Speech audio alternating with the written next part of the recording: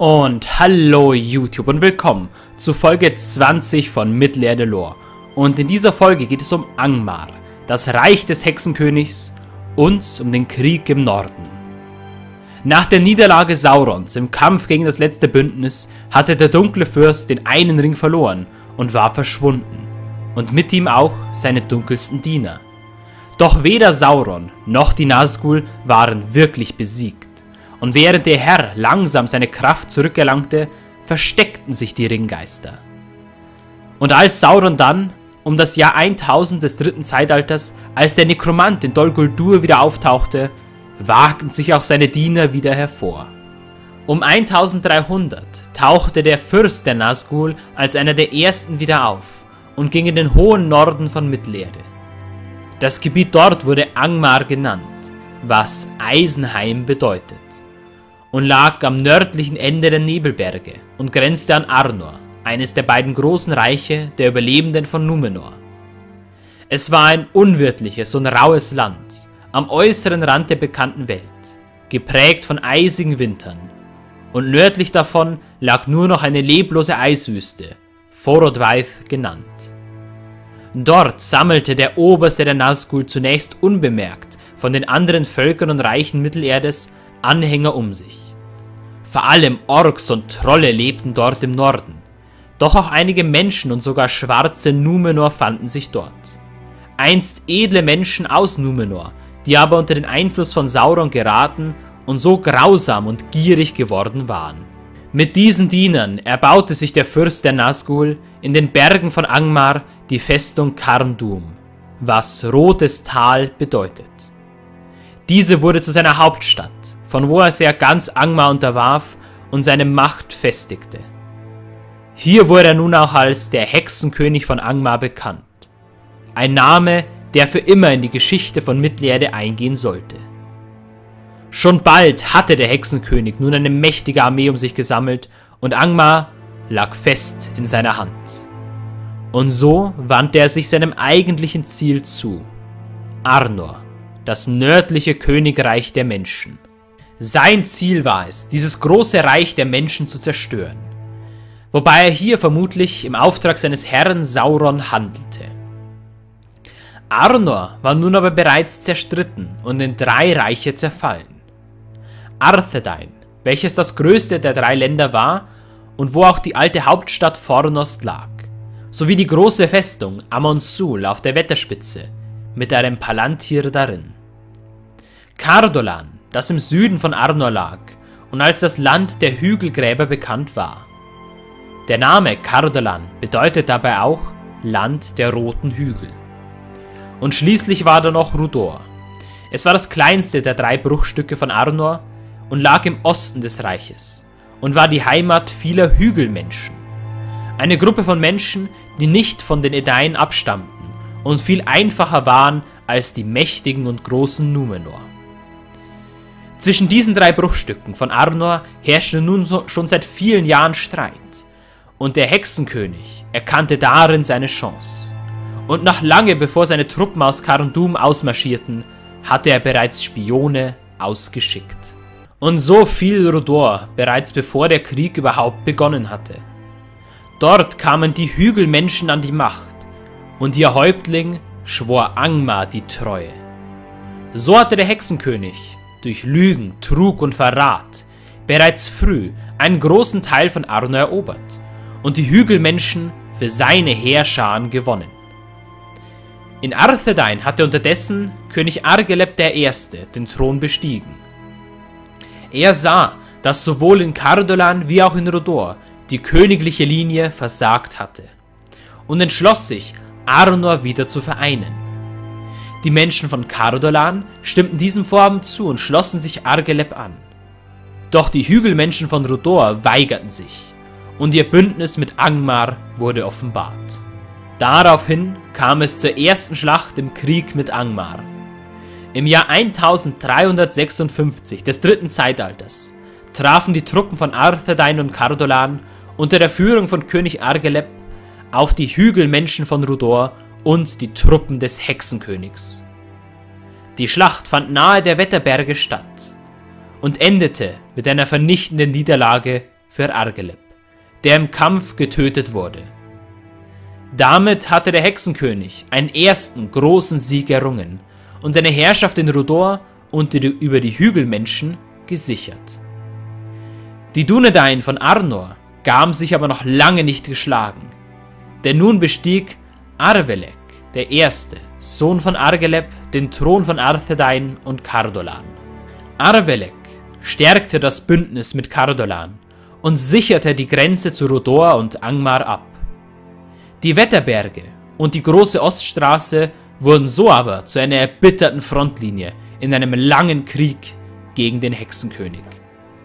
Zentral war dabei die große Festung Amon-Sul auf der Wetterspitze, dem höchsten Gipfel der Wetterberge, und der Palantir, der dort aufbewahrt wurde.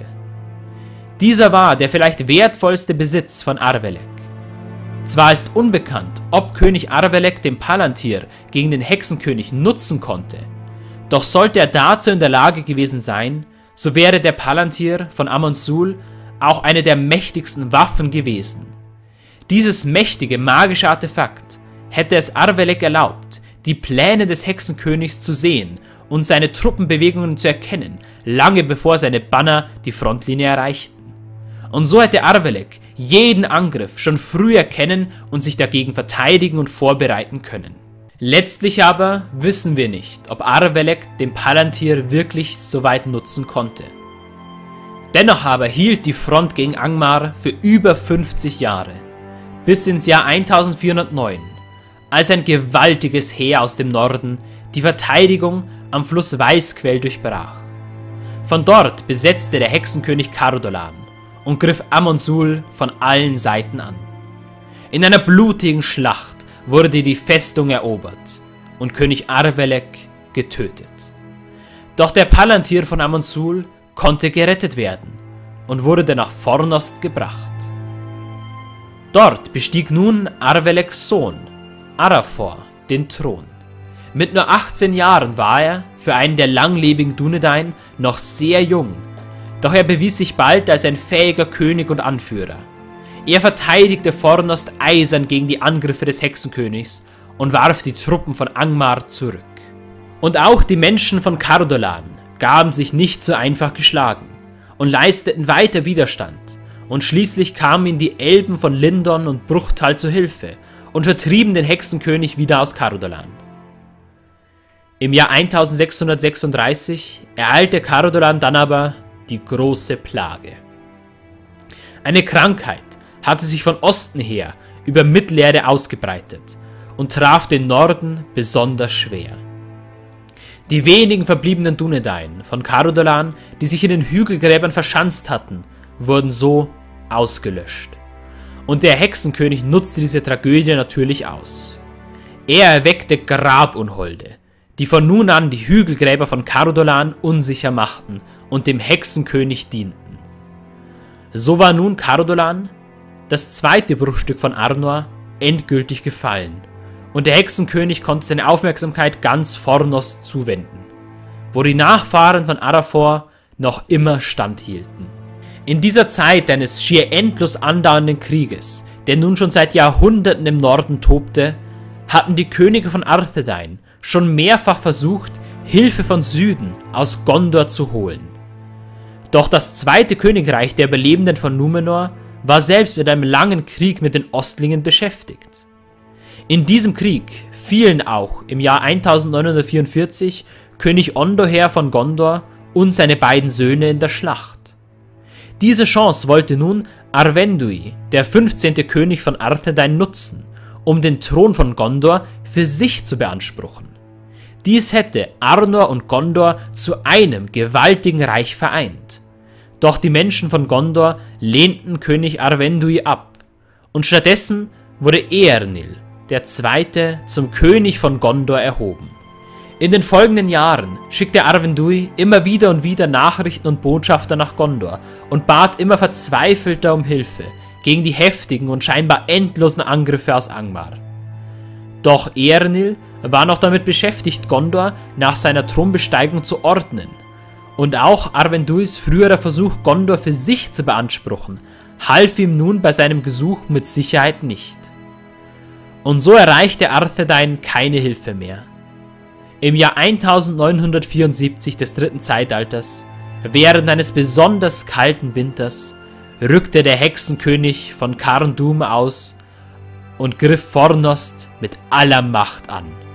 Und die Stadt fiel. Arthedain war nun endlich besiegt und der Hexenkönig hatte Arnor endgültig ausgelöscht. Und der gesamte Norden wurde nun durch Angmar beherrscht. Die Überlebenden von Fornost flohen, geführt von Arvenduis Sohn Aranarth, nach Lindon, wo sie Zuflucht bei den Elben fanden, während aber König Arvendui selbst nach Forochel, dem kalten Land an der großen Eisbucht im Norden, floh. Von dort wollten ihn Kirdan und sein Sohn Aranarth retten und schickten ein Schiff von Lindorn aus. Nachdem der König dieses aber betreten hatte, wurde es in der Bucht von einem Sturm zerstört und am Eis zerschmettert, und König Arvendui ertrank. Damit starb der letzte König von Arthedain und Arnor, und der Palantir von Fornost und Amonsul versank mit ihm im Meer. Sein Erbe, Aranarth, nahm nun nicht mehr den Titel König von Arnor oder König von Arthedain an, sondern nannte sich nur noch Anführer der Dunedain. Denn sein Königreich war durch die Hand des Hexenkönigs unwiederbringlich verloren. Und alles, was noch blieb, war eine Handvoll Dunedain. Und erst jetzt traf die lange ersehnte und so schrecklich verspätete Hilfe aus Gondor ein. Er nur, Prinz von Gondor, erreichte Lindon mit einer Kriegsflotte. Dort vereinten sich die Heerscharen von Gondor, der Elben von Lindon sowie die verbliebenen Dunedain von Arnor zu einer gewaltigen Armee. Und mit vereinten Kräften zogen Kirdan, Eärnur und Arnarth nach Fornost, um den Hexenkönig wenigstens von dort wieder zu vertreiben.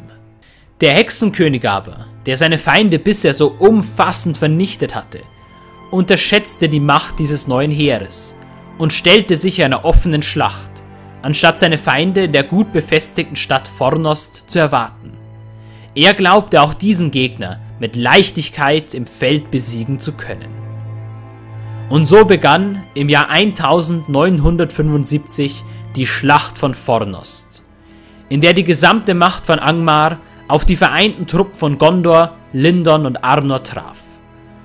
Und dieses Mal konnte der Hexenkönig nicht standhalten. Die Orks, Trolle und schwarzen Numenor von Angmar wurden besiegt. Nun ergriff der Hexenkönig selbst die Flucht und versuchte mit so vielen Truppen wie möglich nach Karndum zurückzukehren. Aber er nur und die Ritter aus Gondor verfolgten und stellten ihn schließlich. Dazu trafen auch noch Truppen aus Bruchtal unter der Führung von Glorfindel ein. So wurden auch die letzten Reste der Armee von Angmar zerstört. Kein Ork, Troll oder sonstiger Diener des Bösen wurde am Leben gelassen und Karndum vernichtet. Wütend griff der Hexenkönig nun eher nur an. Und während Eärnurs Pferd aus Angst vor dem Nazgul floh, stellte sich Glorfindel auf seinem weißen Ross dem Fürst der Neuen entgegen und schlug den Hexenkönig, der daraufhin die Flucht in die Schatten ergriff. Er nur wollte ihn noch weiter verfolgen, doch Glorfindel hielt ihn davon ab und sagte, dass der Hexenkönig nie wieder in dieses Land zurückkehren würde. Doch auch sein Untergang war noch fern, und er würde von keines lebenden Mannes Hand getötet werden. So entstand durch Glorfindel auch die berühmte Prophezeiung des Hexenkönigs, die viel später durch Eowyn erfüllt werden sollte. Denn erst durch sie würde der Hexenkönig besiegt werden.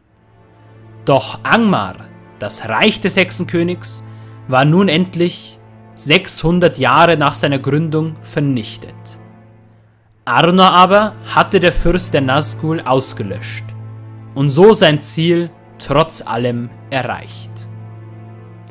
Und damit verabschiede ich mich auch aus dieser Folge von Mittelerde Lore. Wie immer könnt ihr mir eure Meinung zu diesem Video und eure Vorschläge für das Thema der nächsten Folge in die Kommentare schreiben und ich sage Tschüss YouTube und bis zum nächsten Mal bei Mittelerde Lore.